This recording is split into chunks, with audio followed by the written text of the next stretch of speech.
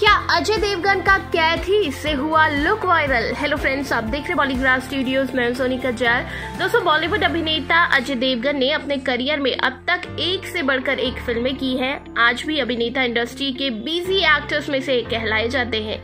इन आने वाले सालों में अजय देवगन के हिस्से बड़े बड़े प्रोजेक्ट्स हैं, जिनमें Kaithi remake Maidaan runway 34 Gangubai Kathiawadi thank God triple R Golmaal five Singham three Drishyam two और रेड टू जैसी फ़िल्में शामिल है और ये लिस्ट खत्म नहीं होने वाली। हाल ही में अभिनेता ने अपने ट्विटर हैंडल पर एक वीडियो शेयर किया है। इस वीडियो को देखने के बाद कयास लगाए जा रहे हैं कि अभिनेता ने नेक्स्ट प्रोजेक्ट पर काम शुरू कर दिया है। बीते दिनों आई रिपोर्ट्स में बताया गया था कि अजय देवगन जल्द ही साउथ सुपरहिट फ़िल्म कैथी के रीमेक की शूटिंग शुरू करेंगे।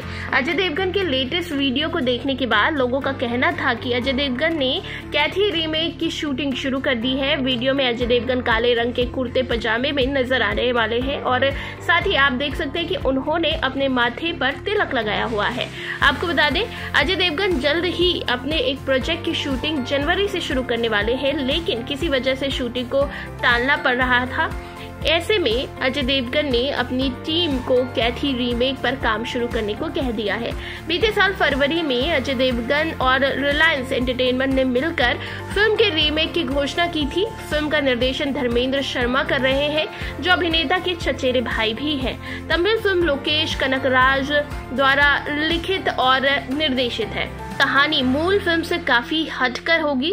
इस फ़िल्म में अजय देवगन ज़बरदस्त एक्शन करते हुए नज़र आएँगे। तो आप बता दीजिए कितना इंतज़ार है अजय देवगन की कैथी का नीचे कमेंट सेक्शन में। और इसी तरह के दूसरे अपडेट्स के लिए सब्सक्राइब करिएगा हमारे चैनल बॉलीग्राफ स्टूडियोज को।